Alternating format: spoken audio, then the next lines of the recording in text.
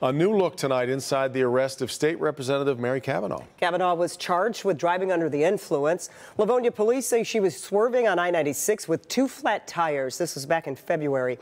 If convicted, it would be her second OWI offense. Tonight, our Megan Woods has body camera video of the arrest.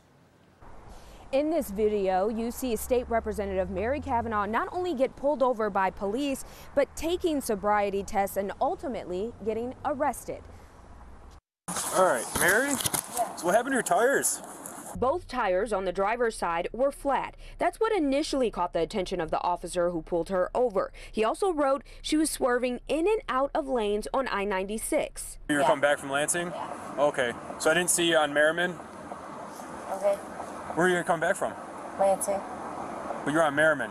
Cavanagh said she didn't know what happened to her tires. It takes her a minute to find her license. Then the officer says, How much have you had to drink tonight? Uh, two glasses. Two glasses of what? Red wine. when asked to take that breathalyzer test, Cavanagh replies, So I'd like to wait. I just. You like to wait? Yeah. Wait, what do you mean wait? eventually, she takes the test. There you go, go, go, go, go, go. All right. Mary, legal limit in Michigan is a .08, okay? You blew a .16 .176. That first breathalyzer result is just an estimate, but enough for an arrest. A blood test taken later, according to the police report, showed her level to be .20. That result is what's admissible in court.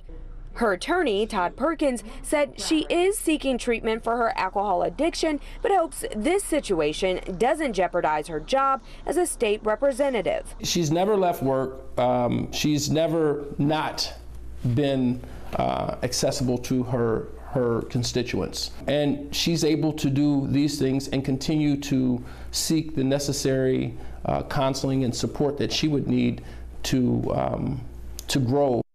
Statement posted on Cavanagh's Instagram, she talks about how she intends to address this situation further, but that will be at a later time. She also apologizes to her community and colleagues for causing this distraction, and she asks for grace, stating, what I can offer you is the very real truth that addiction is a hard road to travel. It is a road that may get easier with education, counseling, and treatment, all of those which I am fully engaged.